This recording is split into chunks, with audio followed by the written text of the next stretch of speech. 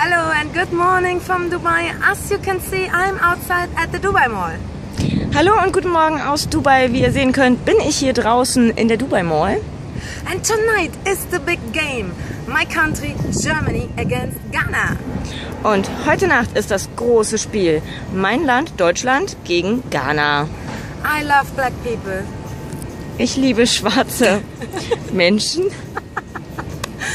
But when it comes to football and the German national team, Aber wenn es äh, zum Thema Fußball kommt und natürlich zum Thema Nationalmannschaft, then I must say Germany will win tonight.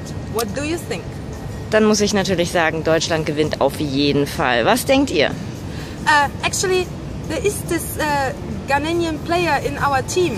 What is his name? Äh, da ist ja auch dieser äh, Spieler aus Ghana in unserem Team. Wie ist sein Name? Sein Name ist Jerome Boateng. Boateng. So Boateng is playing against his brother. What will what will they do? I mean, seriously, if I play against my brother, I will let my brother win for sure.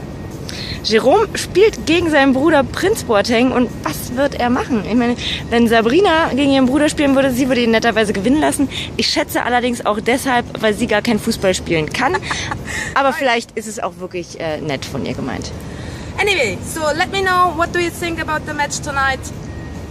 And have a good day. Also lasst mich wissen, was denkt ihr? Wer gewinnt das Match heute? Und ähm, ja, habt einen schönen Abend. Ciao.